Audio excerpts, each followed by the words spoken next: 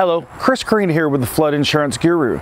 Today we're talking about levees. You know, we're talking about cities like Houston, St. Louis, you know, other cities across the Midwest down towards the Mississippi. You know, the majority of the Mississippi has levees built on it. But what we're talking about today is, are those levees actually creating flooding?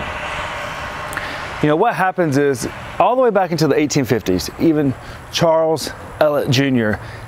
admitted that levees can actually cause flooding downstream in other areas because of the redirection of water. So that's what we're talking about today. You know, levees are not all at the same level in all areas. You know, some communities have had the opportunity to build their levees up. So what happens is when you have levees on the same level, of course the river should rise at the same level. But when you got one side that has higher levees, it's going to flood the other side a little bit more. So this is happening a lot across the Mississippi in smaller communities, you know, communities that don't have as many resources. So today we want to talk about maybe a possible option to fix some of this or some of the dangers of living in communities with levees. You know, in the United States, we don't have what's called setback levees, but in areas like Holland, they do. You see, in the U.S., Levees are built right along the river. However, in areas like Holland, they're actually built off of the river. And one reason for this is to help develop wetland areas and preserve wetland areas because when these rivers flood, it does develop areas for certain animal life and things like that. But the problem with the levees, like New Orleans showed us back in 05 with Hurricane Katrina, is that levees can fail. And when they do fail, they can cause catastrophic events. You know, people take the false protection of living next to a levee thinking it's not going to impact them but those levees can fail. And that's why flood insurance rates are built so heavily on levee maintenance and dam maintenance. You know, for example, Toledo, Ohio recently had to go through a review where their dam and levee levels were not to the maintenance level that FEMA wanted. And because of this, they were going to downgrade it until they could get these things fixed, you know, cracks.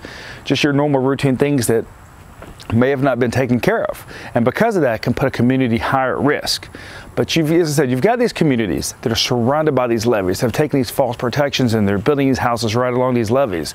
Well, when these levees fail, it causes massive flooding.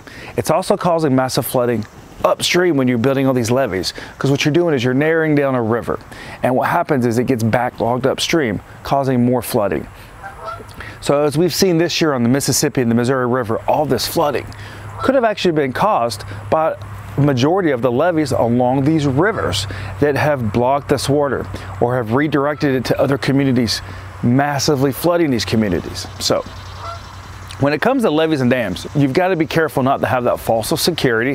While they are a great option for protecting communities, they can actually devastate other communities that may not be able to afford them or the redirection of water. So if you've got questions about flood insurance, maybe you live near a levee, maybe you live near a dam, maybe you're in the Houston, Texas area, you're in the St. Louis area, you're in areas of Nebraska that depend on some of these levees, or all the way up in Minnesota, Des Moines, Iowa, you know, all these areas along the Mississippi River and the Missouri River that have been impacted by this in 2019, please reach out to us. FloodInsuranceGuru.com. Go to our YouTube and our Facebook channels, The Flood Insurance Guru, where we do our daily flood education videos. Remember, you can also give us a call, 205 451 4294. Remember, we have an educational background in flood mitigation, so we can help you understand flood risks like this one right here. Understand your flood insurance options and mitigating your property to help you minimize flood losses when things do happen with levees and dams, and helping you minimize your flood premiums. Thank you.